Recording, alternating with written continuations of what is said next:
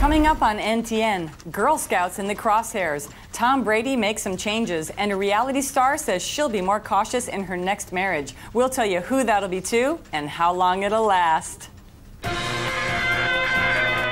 DerfMagazine.com reports that organizers of the Occupy movement have strongly condemned the Girl Scouts of America and say members are planning protests of what they call the cookie one percenters.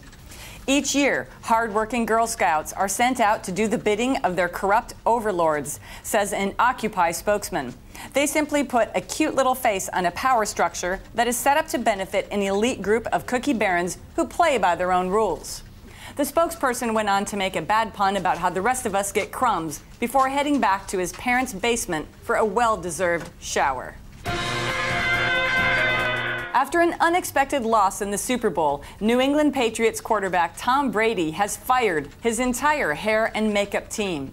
According to DerfMagazine.com, Brady's hair and makeup squad arrived in town hours after the New England Patriots won the AFC Championship but their efforts apparently fell short.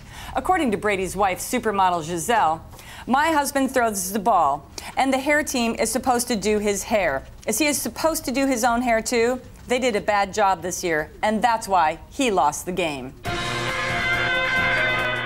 And finally, Kim Kardashian says in a new magazine interview that she'll be more cautious before tying the knot again, and it appears she means it. Sources at the E Network are said to be hard at work, focus testing potential grooms, and an announcement as to the wedding date and subsequent divorce is expected soon, likely just in time for sweeps. For NTN, I'm Jenna Johnston. It's hard to find true love when you're a megastar. What do you mean, how would I know?